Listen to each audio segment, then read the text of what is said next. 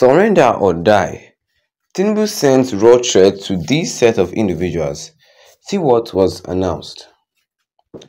Good morning, everyone, and thank you for tuning in and listening to this headline that we got in this morning. Well, our headline for this morning says here that surrender or die as Tinubu sends raw threat to this set of individuals. See what was announced.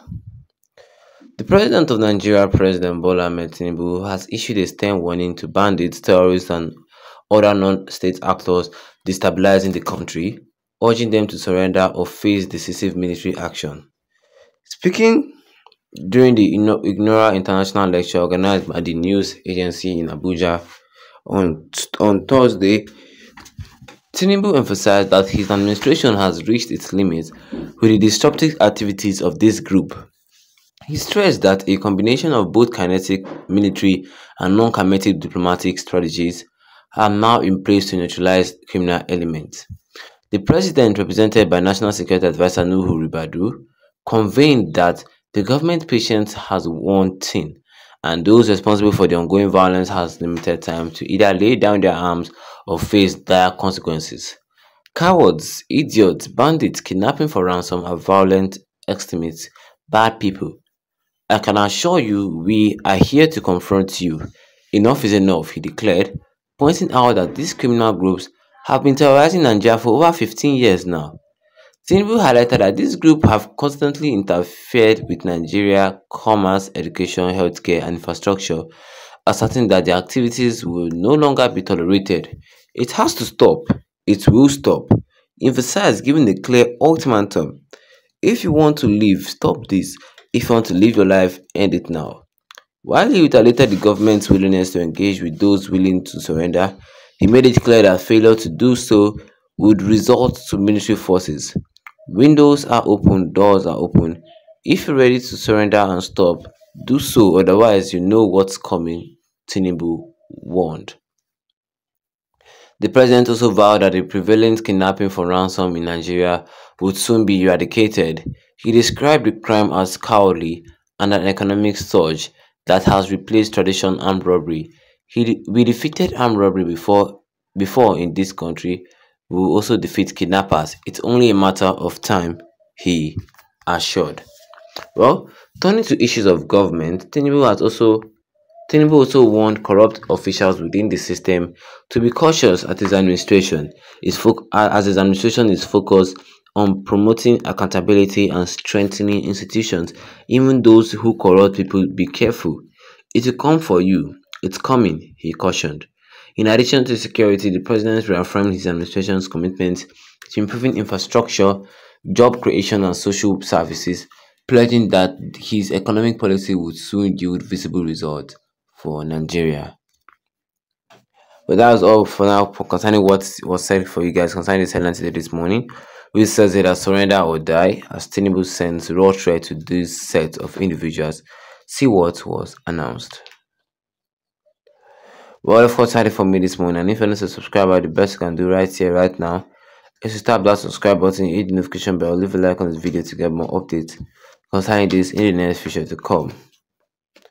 Well, you can see that the president is telling those bandits that they should surrender or die. Yes, I like the fact that the president now is facing. He's no more. Uh, he's, he's no more waiting for a peaceful approach, like a peaceful negotiation with all these bandits. No, he's telling them now surrender or die because they are tired of all this banditry, all this insecurity in this country. They want to end it as quick as possible. And I like that part. I like, I like that route that the president is taking. Yes, they, they should fight fire with fire and let's see whose fire burns brighter. That's how the law of survival is. Well, President Tinubu, president of Nigeria, issued a very big warning to those bandits and terrorists and other non-state actors who are destabilizing this, this country.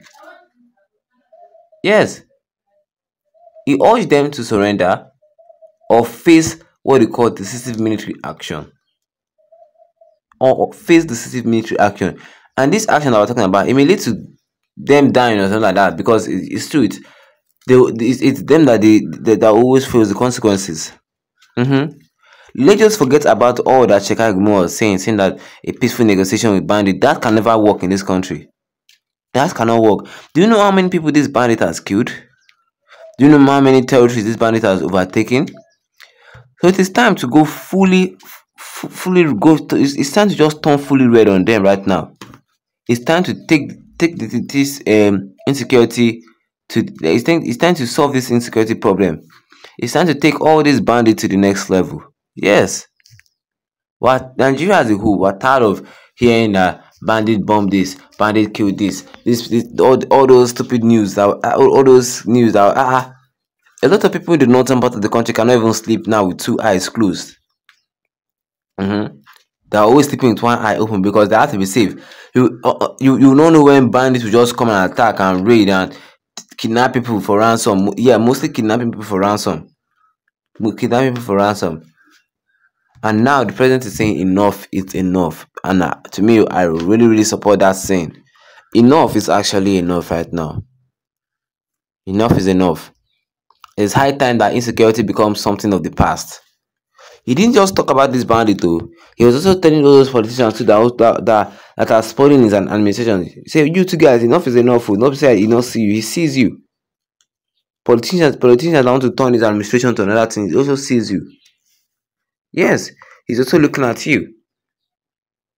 Because being our, our economy too cannot just be uh, the graph of Nigeria cannot just be going down and you expect Nigerians to keep quiet. He's seeing those ministers who just who are just there to, to, to embezzle all those corrupt officials within his system. He's telling that you guys should be cautious. Oh. that he and his administration is focused right now on promoting accountability and strengthening institutions and also getting rid of all these bandits and terrorists in this country. That is what he and his administration is focused focused on right now. Or what do you guys think concerning all this? Drop a comment in the comment section concerning this and don't forget to leave a like on this video. Then tap the subscribe button as the big red one with the notification bell so that anytime I have any new video you'll be the first to get notified about it.